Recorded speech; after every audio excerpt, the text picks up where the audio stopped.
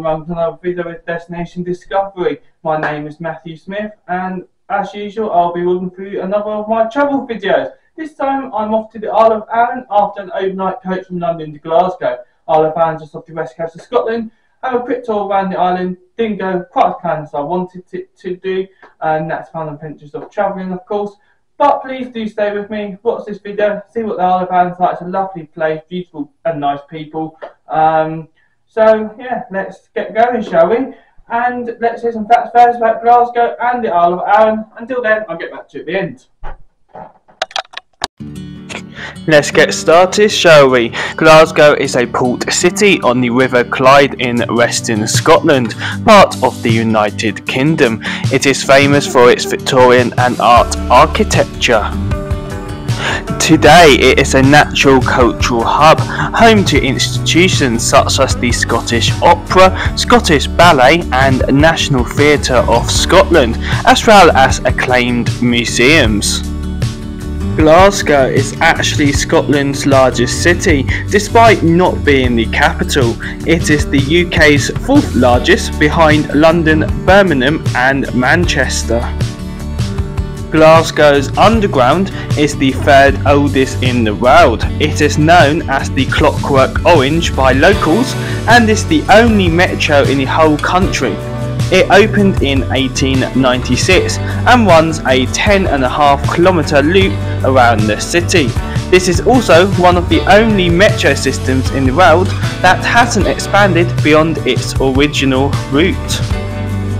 Glasgow is known as the Dear Green Place. The city has over 90 parks and gardens with hills and lush woodland walks. Some of the top parks and gardens include Glasgow Botanic Gardens, the Hidden Park, and Scottish Poetry Rose Garden. Tree stumps are older than the dinosaurs in Scotland. Yep, that's right. 11 fossil tree stumps can be found in Glasgow's Fossil Grove, which is believed to be around 330 million years old, making them older than the dinosaurs. Glasgow is the birthplace of the world's first ultrasound machine. It was invented by Professor Ian Donald, Dr. John MacVicar, and Tom Brown in 1956.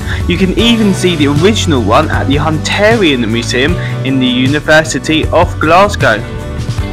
Now on to the Isle of Arran. This island, known simply as Arran, is an island off the west coast of Scotland. It is the largest island in the Firth of Clyde and the seventh largest Scottish island at 432 square kilometres. The island is known as Scotland in miniature, as it is divided into highland and lowland areas by the Highland boundary fault. Arran has no towns, they have lots of villages instead. Let's do a little tour around the island as it is reasonably small. Brodick is home to the island's main ferry terminal. It is home to Arran Heritage Museum and Brodick Castle, which is very popular amongst tourists. The village of Lamlash looks across Holy Isle with breathtaking sunrises year round. Lamlash is the island's administrative hub with the main hospital being here. Whiting Bay used to boast the longest pier on the Clyde. The giant's graves can also be accessed from the village. Whiting Bay has traditionally been known as the art centre for the island. Blackwaterfoot is the largest community on the west of the island and part of the area known as Shiskine Valley. The village hosts hotels, riding stables, golf, tennis and various local retailers and producers. You can also access a long beach along the shoreline. Lochranza is home to the second ferry terminal and Lochranza Distillery. Lochranza Castle is also worth exploring and you can also walk around the coastline from here. Finally, Sannox and Corrie are twin villages. They share a village hall, golf course, and lots of community spirit, of course. And that's it for the facts. Uh, let's pass you on to my journey now. And I do hope you enjoyed this video, and I'll join you at the end for some costing details. Hello guys and welcome to another video with Destination Discovery with myself Matthew Smith. On this video you will be seeing my trip to the Isle of Arran which is a Scottish island just off the west coast of Scotland. It's one of the largest of the Scottish islands up there. But first we are now at Purley Station here in South London heading up to Victoria to catch a coach. Uh, we've got an 8 hour overnight coach journey from London to Glasgow. Tomorrow morning, I'll be starting my trip down to get the ferry to the Isle of Arran before returning in the evening by EasyJet back to London Gatwick. Can't wait to share all that with you.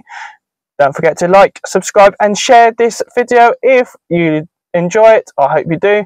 I'll join you later on. Platform 17 for the 1832 South Central service to Brighton, fast to East Croydon, then Redhill, Gatwick Airport, Waltham, Haywards Heath, Wivelsfield, Burgess Hill, Hassocks, Preston Park and Brighton. Customers for London Road, Moulsecoomb, Falmer and Lewes,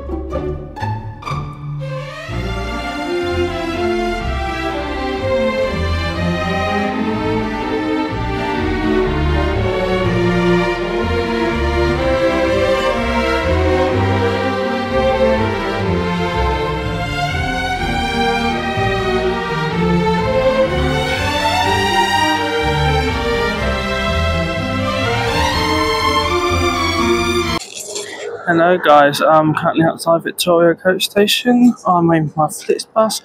Um, the N30 at in about an hour's time. It's 8 o'clock now, 9 o'clock this evening it will depart and it will take me to on a 9 hour coach journey to Glasgow Buchanan bus station.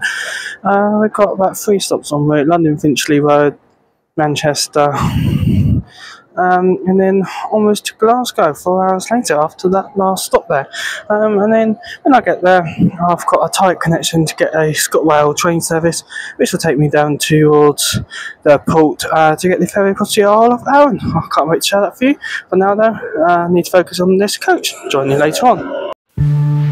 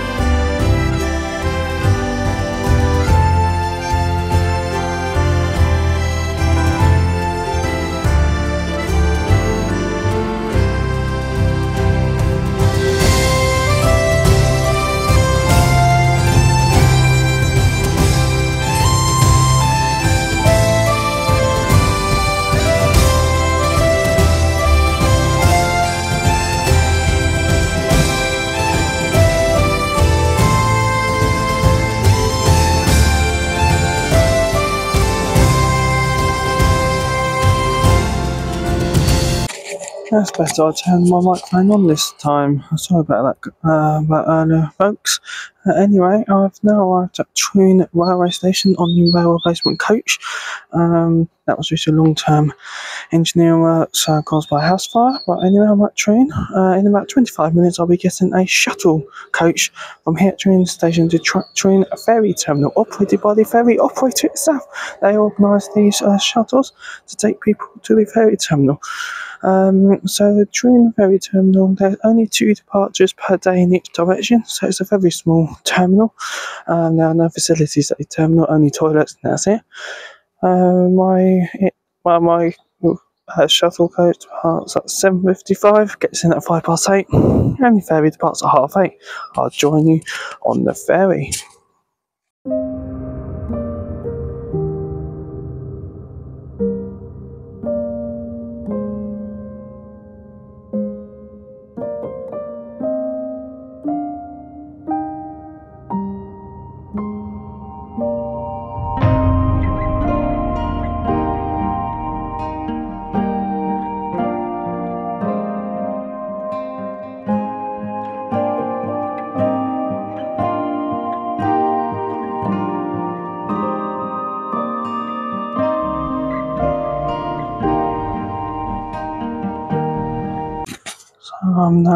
Board the ferry. is a very strong ferry indeed.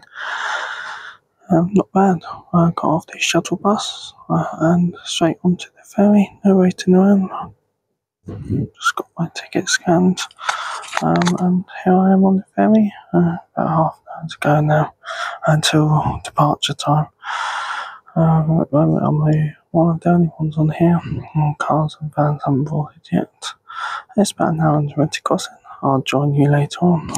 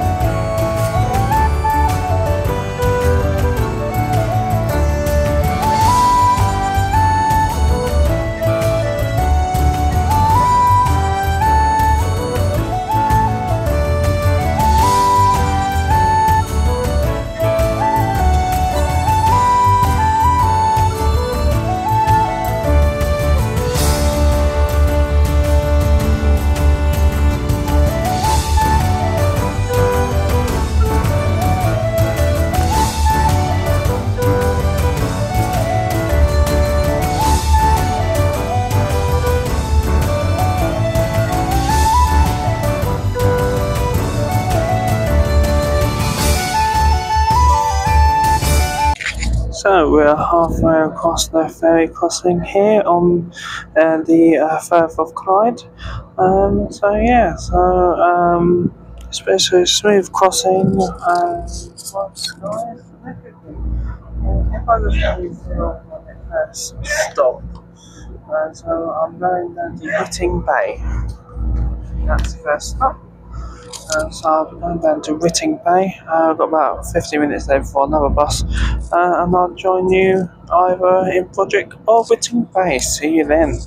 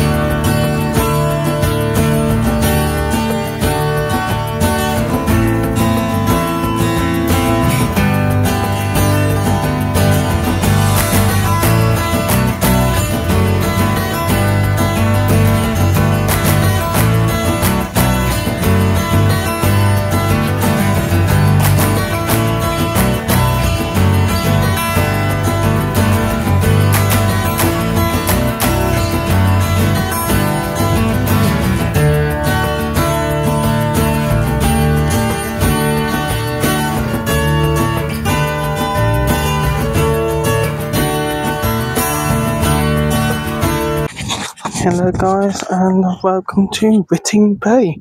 Uh, I've made it from the stagecoach bus here to village of Whiting Bay. Well, I've got about 45 minutes to explore this um, village and then get another bus on towards the north of the island. I'll have two and a half hours later on in Lochranza. Uh, it's got a castle there and a ferry terminal and uh, coastline. I always can't show you later. But for now, we're in um, Bay, and let's just have a quick look around. 45 minutes explore this lovely village.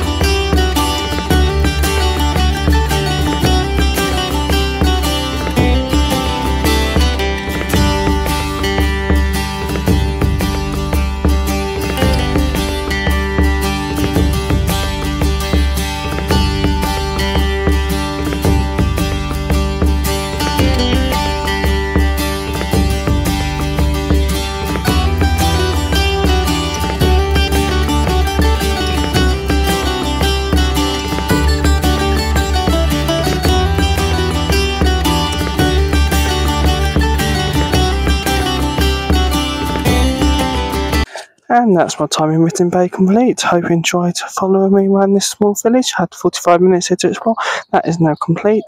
And I'm currently at the bus stop waiting uh, the bus 323 stagecoach to Blackwaterfoot. Should be the same connection, two minute connection time, should be the same bus, uh, which take me to Lochranza. Uh, is the north of the island, this is the south island. I would have travelled almost the whole length of the island by the time I get there. Um, then you've got a castle there and uh, a beach and a ferry terminal. I believe there's a small cafe. All that I'll be showing you. Um, I've got two and a half hours there, which I know is probably too long, but buses on that side of the island aren't as frequent. Um, I shall join you when I get to La Lochranza.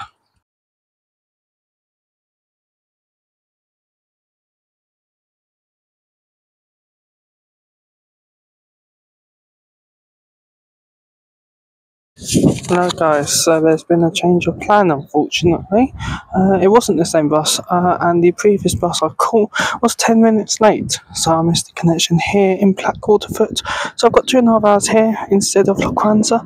Unfortunately I really wanted to show you the castle because it was really good um, and stuff like that but unfortunately instead I'll have to show you around Blackwaterfoot which isn't as good. Um, it's got a hotel, which has got a restaurant inside, local shop village shop, um, and it's got a um, a takeaway place that actually is really nice. I just bought something from there, bacon roll, uh, really nice. Um, fortunately, I'm, I'm now here for two and a half hours um, with not an awful lot to do, uh, but I'll try to show as much scenery as I can. Hope you enjoy.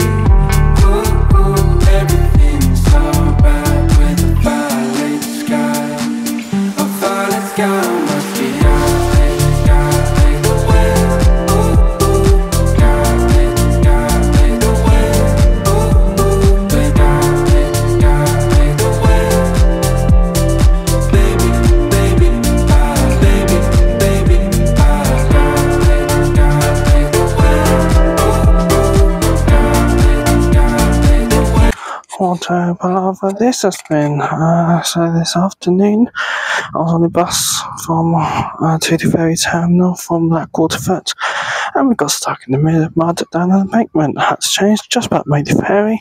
Ferry departed 15 minutes late. Arrived here and saw the train depart. Uh, so I've missed these trains have reminded me. An alternative plan uh, was not going long at the airport, but so I'm back on the mainland.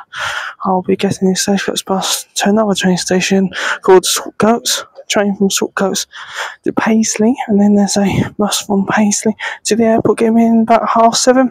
Flight departs at quarter past nine this evening, so it's all a bit tight, but hopefully we'll make it. Um, I don't know whether I will at this stage, but hopefully I can't afford to miss it. Uh, so what a stressful afternoon this has been so far.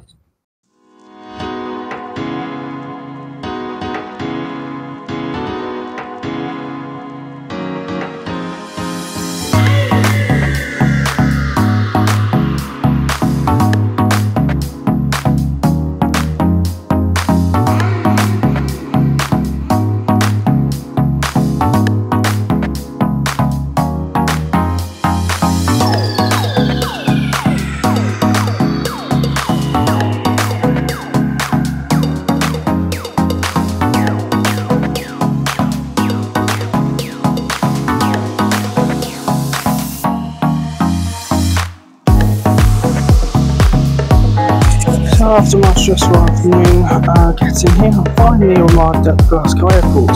Time has oh, half seven. My flight departs at quarter past nine. Sorry, it's half eight. Uh, half seven. Flight at quarter past nine.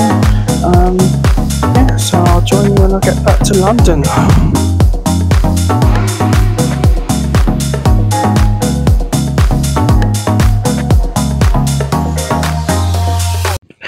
I hope you enjoyed my visit to this lovely island. Now it's time for the costing details and see how much it all costed me. Firstly, let's start with the overnight coach from London to Glasgow, booked directly with Flixbus, and this came to a total of £32.98 or 38.33 euros. The single train journey from Glasgow to Troon costed £10.20 or 11.86 euros. The single ticket for the ferry with Caledonian MacBrayne from Troon to the island came to £4.60 or 5.35 euros. The day ticket for stagecoach buses on the island costed me £7.50 or 8.72 euros.